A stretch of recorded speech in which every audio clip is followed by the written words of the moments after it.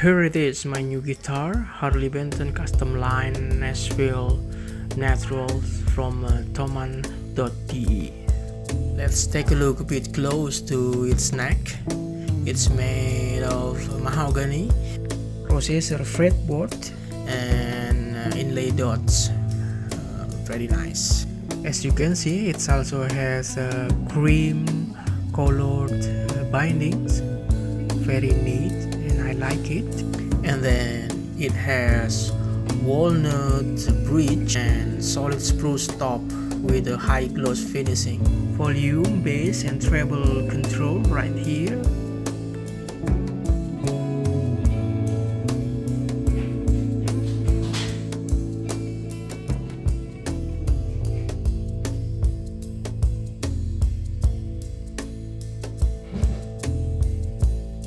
very nice guitar with a two ornament which are looks like a sound hole but it is not. It's just ornament.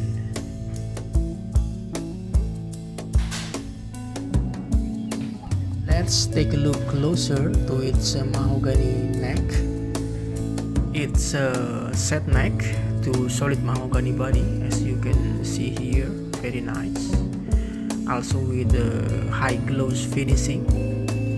And the container for its 9 volt batteries to power uh, its piezo system and cavity for uh, volume bass and treble control. And here uh, gold plated deluxe tuners. Now let's hear sound of this guitar through the Yamaha amplifiers and I'm going to use uh, delay and reverb effects.